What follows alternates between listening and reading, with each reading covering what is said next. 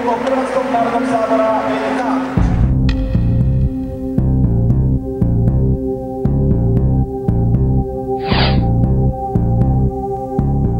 kaznenog zakona Federacije Bosne i Hercegovine, službene novine Federacije Bosne i Hercegovine 43 kroz 98 osuđuje na kaznu zatvora u trajanju od 5 godina. 2. Samo je jednom aktuelni predsjednik Hrvatske demokratske zajednice Bosne i Hercegovine Dragan Čović reagovao na izrečenom u presudu. Nakon te prve osuđujuće ništa više nije prepuštao slučaju. Predmeti istrage protiv njega odlazit će u zastaru. Nestajaće originalna dokumentacija, krunski svjedoci pod pritiscima izvršavaju samoubistva.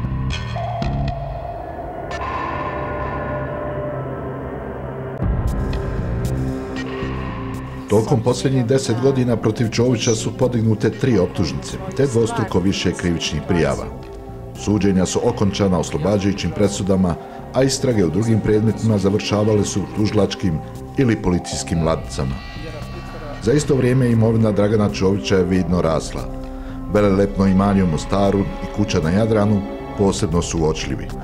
Na pitanje o porijeklu imovine koju posjeduje on i njegova porodica, Čović konkretnog odgovora nema. Što se moje imovine tiče, svi imate moj imovinski karton. Uzmite moj imovinski karton, on ja da se nadam, javan dokument i se provjerujte.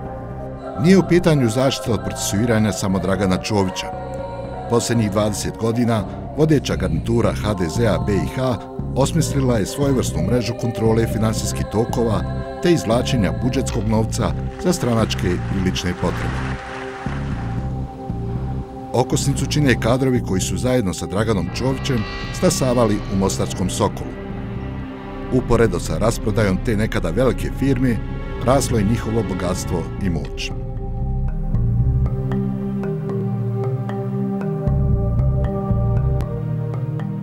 Da vam kažem, to je duga priča.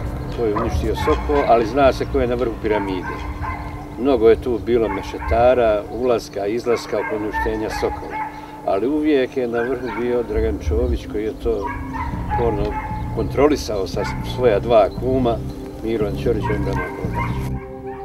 Zdravko Čorić bivši je radnik Sokola i jedan od rijetkih koji unatoč posljedicama otvoreno ukazuje na kriminal tokom privatizacije Mostarske vazduhoplovne industrije Soku i odgovornosti kadrova HDZ-a predvođenih Draganom Čovićem. Lopovi! Lopovi! Lopovi! Lopovi! Lopovi! Lopovi! Lopovi! Mladi Hrvati rijetko kritikuju politiku HDZ-a BiH. Josip Šimić iz Kreševa okončava studij teologije i političkih nauka u Sarajevu.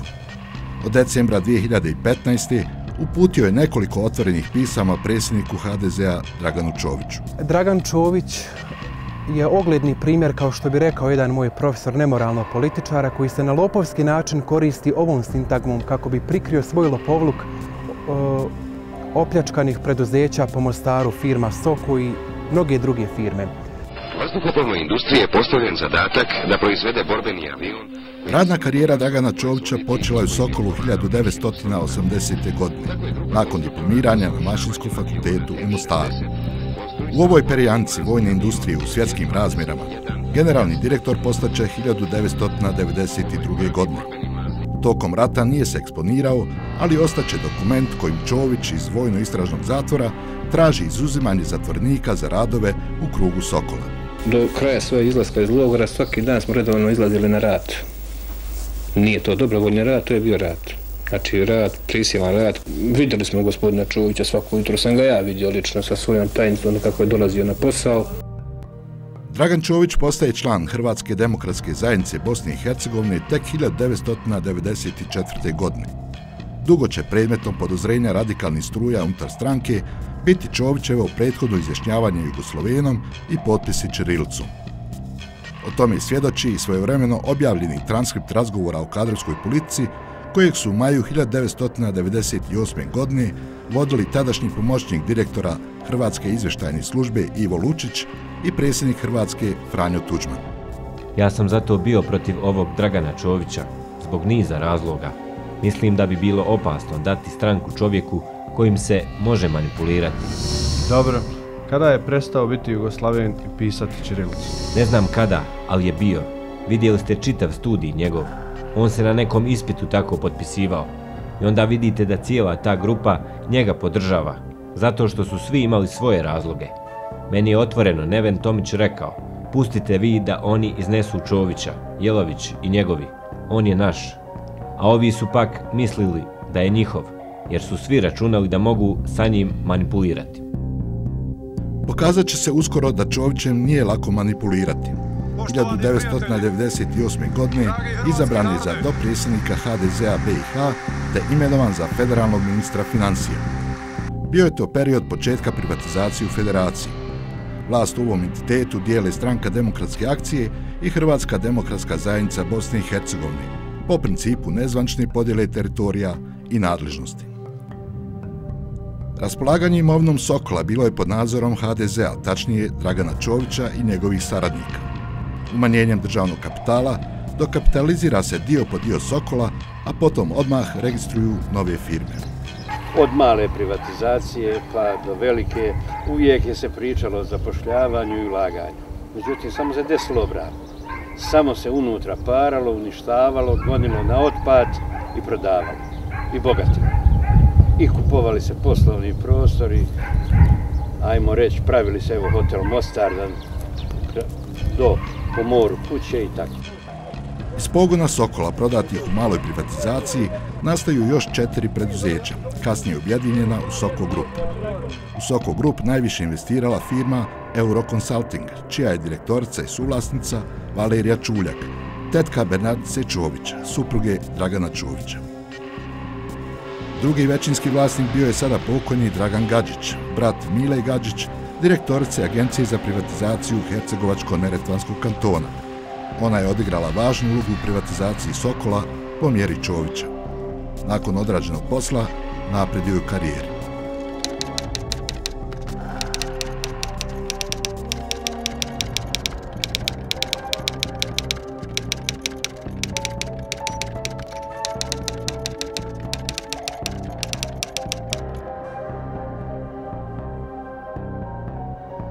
Nada da će pravosuđe reagovati na nezakontosti u Sokolu ukazala se 2009. godine, kada je podignuta optužnica zbog spornje privatizacije dijelova firmi.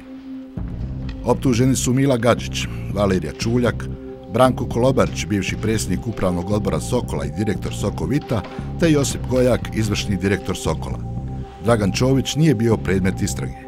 Prema presudi, tužilaštvo nije dokazalo krivicu. Sud je donio javno objavljuje u ime Federacije Bosne i Hercegovine sljedeću presudu. Optuženi Valerija Čuljak, Branko Kolovarić i Mila Gađić sa osobnim podacima kao u spisu predmeta, temeljen članka 345 stavak 1 točka 3 e, ZKP-a Federacije Bosne i Hercegovine oslobađaju se od optužbe DABI. Akteri ovog procesa napreduju u karijeri. Branko Kolobarić, inače kum Dragana Čovića, postaje federalni revizor, a njegova supruga Ankica, prvo članica nadzornog odbora Razvojne banke Federacije, a potom i viceguvernijer Centralne banke Bosne i Hercegovine. Iako nije bila na listi optuženih, nego osumničenih, napredovala je i Jelka Miličević, bivša direktorica financija Sokola i presjednica Komisije za popis imovine. Nakon članstva u Upravnom odboru Federalne agencije za bankarstvo, Čović je u znak zahvalnosti imenuje ministricom financija. O istrazi će govoriti tek mnogo godina kasnije. Ja sam i tada bila čovjek od struke koji je onako, jer je osnovni princip u, toj privatizaciji bilo, nažalost, ne tržišna vrijednost, nego knjigovostvena vrijednost. A to je taj dio mog posla što je bio. Tužiteljica kantonalnog tužilašta Hercegovačko-Neretvanskog kantona Irena Drinovac koja je u javnosti označena kao glavni krivac zbog lošeg dokazivanja optužnice, prelazi u elektroprivredu Hrvatske zajednice Herceg Bosna, što se tumačilo kao nagrada za oslobađajuću presudu. Na snimanje kamerom nije pristala, ali nakon šest godina šutnje specijalno za aferu je putem telefona prvi put govorila o procesu. što smo uspjeli prikupiti. Prikupili smo, do kraja smo išli ovaj, s tim, a što to je sud donio oslobađajuću presudu, vjerujte mi da, da u tom momentu da sam, da smo svi bili ovaj satrčeni. Ja sam došla raditi u elektroprivredu prije četiri godine, kada je o, na vlasti bila platformaška, da tako kažem, ovaj, vladavina, gdje ja nemam nikakve veze s politikom.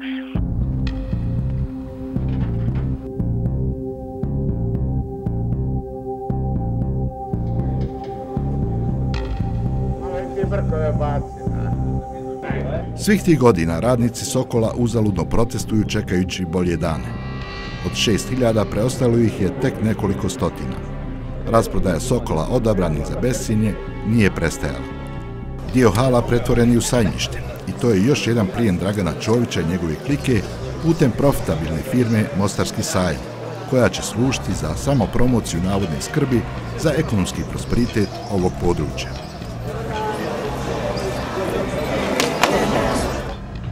Nikada nije okončana istraga o nezakonitostima još jedne privatizacije unutar Sokola, kojom je ova firma oštećena za oko 10 miliona maraka, a to je predmet Sokopteron.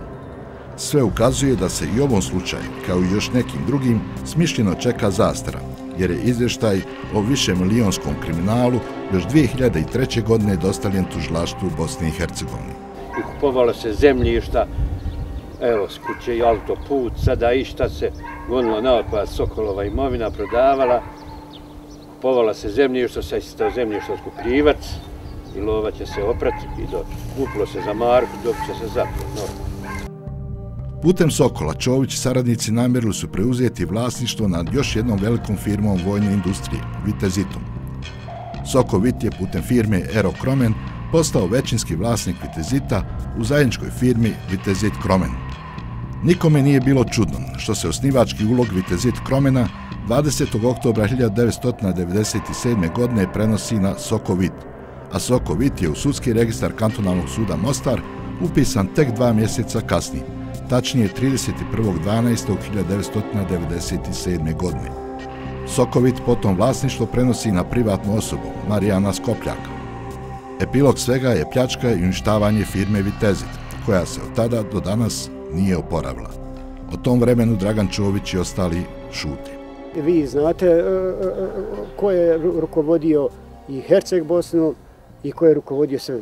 Znači sve strukture su došle od ozdo. I one su držale sve to pod svoju, svojom kapom.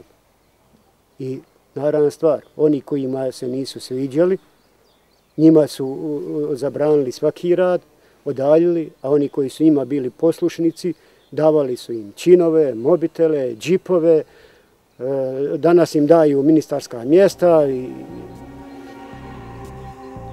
visoke pozicije.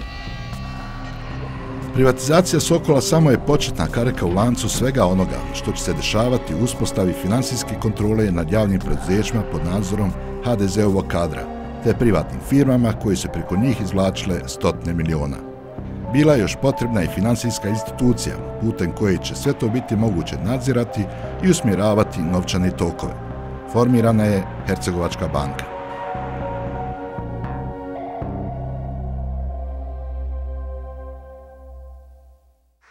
Ali ostalo je mnogo obaveza ispred nas. Obaveza prema našim braniteljima, o tome je govorio predsjednik Karamarko, ja neću.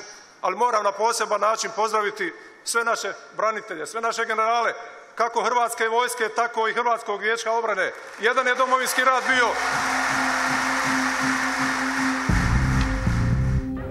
Braniteljima i novcu koji je za njihove naknade, penzije i invalidine stizao iz Hrvatske, Dragan Čović i dužnostici HDZ-a BiH i tekako trebaju biti zahvalni. Sistem rada Hercegovačke banke postaće paradigma dobro osmišljene pljačke budžetskog novca, kako onog Republike Hrvatske, tako i Federacije BiH. Stotne miliona maraka za brantelje nenamjenski su potrošene, a dio završio i na privatnim računima.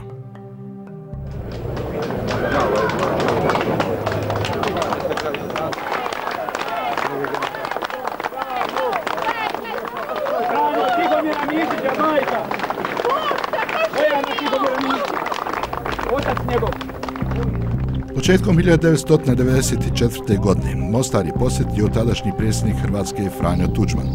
Obišao je porušenu Franjevačku crku te obećao novac za njenu obnovu. Ta pomoć je pristizala sve do 1998. godine, a sredstvima je upravljao Fra Ivan Ševo, ekonom Hercegovačke Franjevačke provincije. Nijedan fenig nije otišao krivo ni više, ni manje, ni fenig.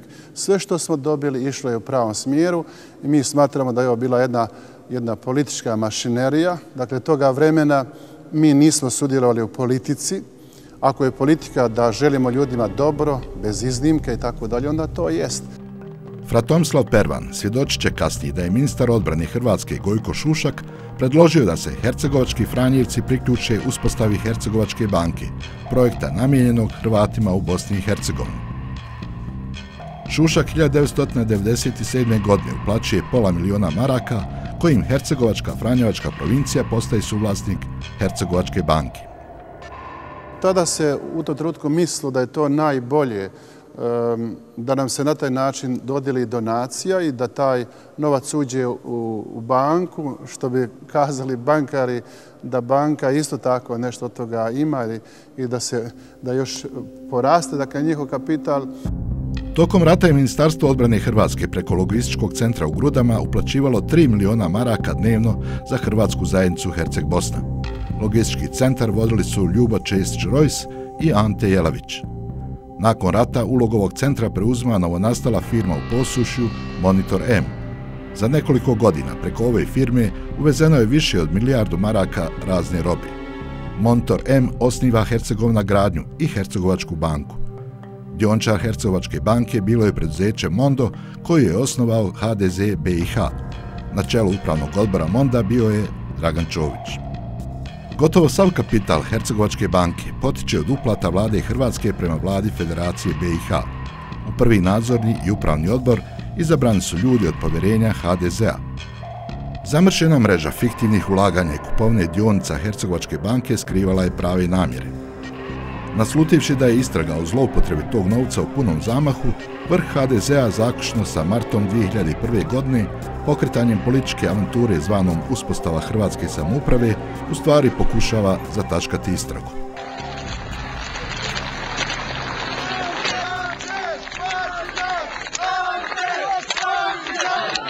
Čast mi je da vam preoči danas da smo proglasili Hrvatsku samoupravu u Bosni i Hercegovini. Ono što tada, a možda ni sada ne znaju oni koji su Jelaviću klicali, jeste da je od 647 miliona maraka, koliko je od 1997.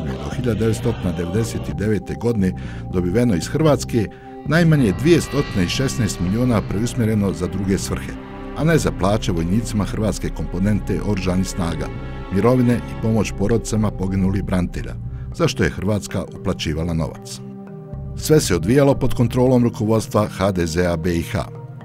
Kako bi presjekao nelegalne finansijske tokove, visoki predstavnik Wolfgang Petrić odlučio je zaustaviti rad Hercegovačke banke. 6. aprila 2001. godine pripadnice Esfora izuzimaju dokumentaciju banke, što je izazvalo reakciju jednog broja Hrvata u Mostaru.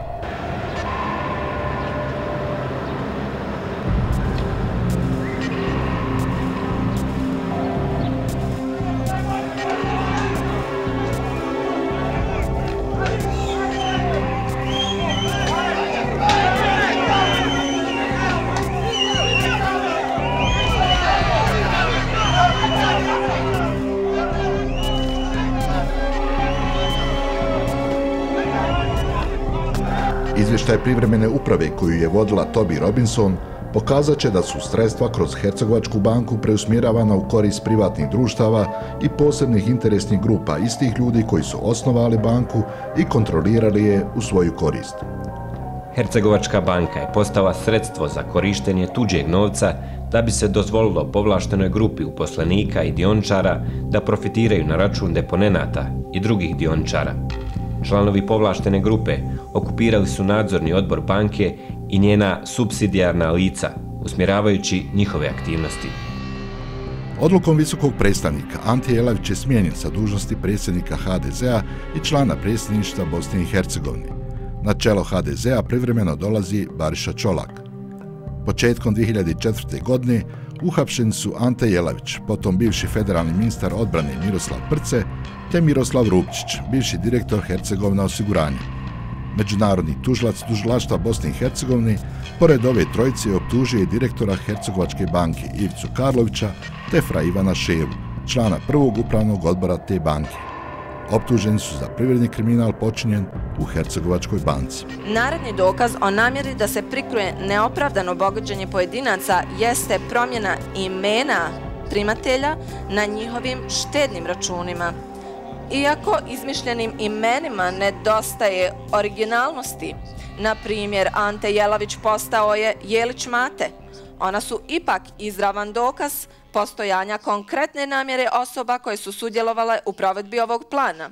Događaj koje je sudija Simons opisao u izreci presude odigrali su se u vrijeme kada je centralizovana kontrola nad vladinim ministarstvima bila najslabija i kada su prihodi koji su stizali iz izvora kao što je Republika Hrvatska bili najviše podložni zloupotrebu. Naknadno je optužnice oslobođen Fra Ivan Ševo, iako je u izveštaju poslovanju Hercegovačke banke navedeno da je sumnjivo njeno poslovanje sa štamparijom Fram Ziral, koju je osnovala Hercegovačka Franjevačka provincija, a kojom je Ševo rukovodio. Kad sam se ja dakle, obratio Mekneru i ostalo nazošoj gospodi i pitao, dakle ovo što sam već malo prije rekao, onda su oni tada predložili, dakle jedne određene pauze, da se moj slučaj izdvoji istog slučaja, što je bilo sasvim logično za očekivati od tog čina, dakle Meknera, do današnjeg dana niti me ko zvao, niti me ko spominjao, niti mi se ko javljao. Fra Ivan Ševo je i danas radoviđen gost u prvim redovima gotovo svih dešavanja kojima je organizator HDZ BiH. Dragan Čović, koji je kao federalni ministar financija obizbijedio da Hercovačka banka bude jedna od depozitarnih banaka, ne eksponira se u to vrijeme previše. Nakon izbora 2002. godine postaje član predsjedništva Bosne i Hercegovine. U pozadini svega održava kontrolu nad javnim preduzećima, elektroprivredom Hrvatske zajednice Herceg Bosne i Hrvatskim telekomunikacijama Mostar.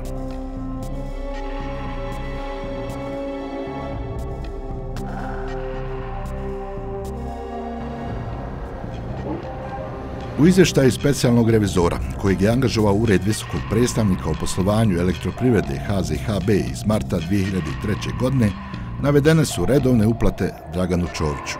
Naišli smo na plaćanje u iznosu od 1000,5 maraka mjesečno u korist Dragana Čovića, trenutnog člana predsjedništva i bivšeg ministra financija. Prema odredbama ugovora, plaćanje je bilo vršeno za usluge stručnog savjetovanja. Tokom našeg rada na terenu pitali smo rukovodioce elektroprivrede da nam pokažu dokaze o izvršenom poslu, što oni nisu mogli učiniti. Generalni direktor elektroprivrede HZHB bio je Matan Žarić, dugogodišnja Čovićeva akvizicija u javnim preduzećima pod kontrolom HDZ-a. HDZ Bosne i Hercegovine je elektroprivredu HZHB koristio kao banku. Nijedna institucija ove stranke, kao i neki dužnosnici, godinama nisu plaćali račune za električnu energiju. Nije plaćala ni Čovićeva firma Sokol, uočene su manipulacije donacijama i poslovnim ugovorima. Elektroprivreda HZHB poslovala je samo sa Hercegovina osiguranjem, za što je tokom dvije godine isplaćeno 15 miliona maraka. Većinski vlasnik Hercegovina osiguranja bila je Hercegovačka banka kojom rukovodi Miroslav Rupičić. Vozila u vrijednosti 2 miliona su nabavljana od firme MRM Ljubuški, vlasništvo sestre Miroslava Rupčića. Pola miliona maraka elektroprivreda HZHB platila je za štampanje izbornog materijala HDZ-a za izbore. Ova revizija pokazuje sa, sa osuđujućom jasnoćom koliko je HDZ zloupotrebio elektroprivredu Mostar za finansiranje svojih paralelnih aktivnosti i za plaćanje privilegovanih članova HDZ-a. Na račun firme Mondo, koju je 1996. godine osnovao HDZ BiH, iz elektroprivrede HZHB je prebačeno oko 1,5 miliona maraka. Direktor Matan Žarić u nekoliko navrata potpisuje netačno popunjene fakture koje mu je slao direktor Monda Branko Rajić, a upravnim odborom predsjedavao je naravno Dragan Čović. Novac je bio namijenjen za finansiranje izborne kampanje HDZ-a, ali za kupovnu automobila i stanova istaknutim HDZ-ovcima. već je legendarna zgrada u Mostarskoj ulici Akademika Ivana Zovke, gdje su stanove na račun javnih preduzeća dobili funkcioneri HDZ-a. Krivičnu prijavu tužlaštvo Hercegovačko-Neretanskog kantona zbog ovih transakcija dostavila je Finansijska policija federacije. Čović se na te izvještaje nikada nije osvrtao. Finansijskoj policiji je prijetio. To su oni koji vam se često kunu u život za Bosnu i Hercegovinu, koji prozivaju to Bože nacionalno, kriminalno, pa ćete vidjeti gdje stvarno leže kriminal u Bosni i Hercegovini. Istraga je rezultirala ostavkom direktora Matana Žarća. No nije elektroprivreda HZHB bila jedino javno preduzeće putem kojeg je smišljeno izvlačen novac za Čoviću odane kadrove i financijere. Pored ostalih funkcija, Čović je tokom 98. i 99. godine bio i predsjednik upravnog odbora tadašnjih Hrvatskih pošta i telekomunikacija. Izveštaj finansijske policije ukazao je da je upravni odbor omogućio da se dugovanja HPT-a firmama Hercegovna osiguranje, Alpina Komerci i Kroherc od oko 4,6 miliona maraka izmiri prodajom vlasničkog udjela u Erenetu. Podignuta je optužica protiv Čovića, potom direktora HPT Mostar Marinka Gilje, te članova odbora Matana Žarića, Nevena Đukića, Ivana Bačka, Slavice Josipović i Vladimira Šoljića. Pričajte što hoćete, čitajte, pričajte, pitajte ove što tuže sutra. Nema komentara. Optuženi su znali ono što će Vrhovni sud Federacije kasnije potvrditi. Optužnica je podignuta gotovo godinu dana nakon isteka roka zastari. Na suđenja su dolazili relaksirani. Kiša danas, jel?